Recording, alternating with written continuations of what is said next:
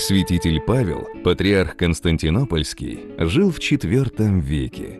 Его патриаршество выпало на тяжелое время борьбы с арианством. Эта ересь была осуждена Первым Вселенским собором, но тем не менее приобрела и своих покровителей и последователей. Тогдашний император Констанций сильно симпатизировал арианам. Он незаконно низложил патриарха Константинопольского Павла и возвел на его место арианина Евсевия. Патриарх Павел и другие православные епископы вынуждены были бежать в Рим. Когда Евсевий умер, святитель Павел вернулся в Константинополь, где его с любовью и радостью встретило паство. Однако вскоре последовало новое изгнание. Констанций вторично изгнал святого, и ему пришлось возвратиться в Рим. Но и в третий раз святой Павел был возвращен на патриарший престол.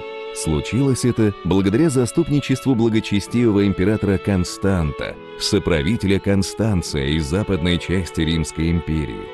Однако вскоре император Констант, защитник православных, был предательски убит – и святителя Павла вновь изгнали из столицы, теперь уже навсегда.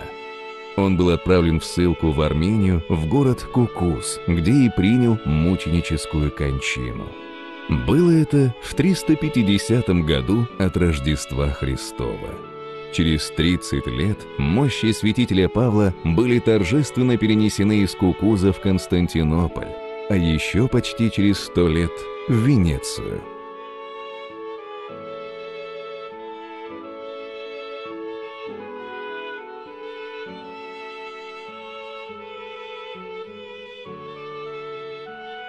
19 ноября.